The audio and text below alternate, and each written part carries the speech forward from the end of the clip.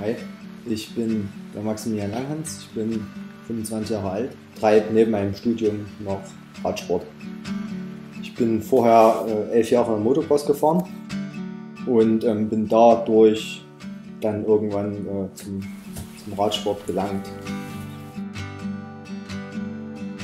Bin letztes Jahr in zwei Rundfahrten gefahren. Das war ganz was Neues für mich. Es war zum einen mal in, in Tschechien gewesen, da waren es nur drei Etappen.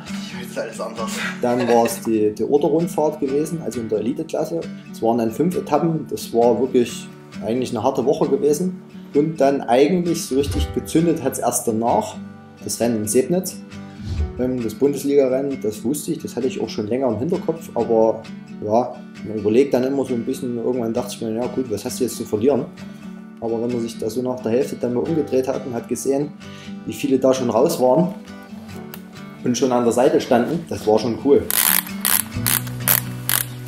Das war jetzt kein Sieg oder irgendwas gewesen, aber das war so ähm, das, wo du gedacht hast, okay, das ist eigentlich ziemlich cool, das, was du dir jetzt so in einem Dreivierteljahr jetzt so erarbeitet hast. Ähm, dafür haben jetzt manche vielleicht fünf, sechs Jahre dazu gebraucht. Und das war eigentlich auch so ein Zeichen, dass das, denke ich mal, jetzt noch nicht alles war.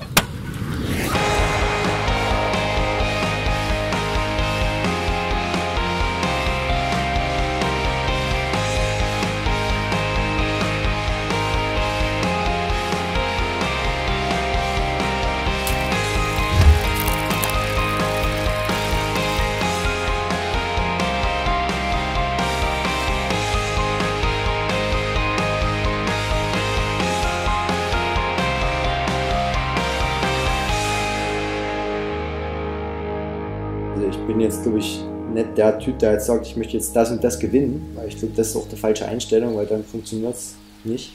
Obwohl die vier Hügeltor möchte ich schon gerne noch gewinnen. das ist irgendwie so ein Prestige hier im Erzgebirge.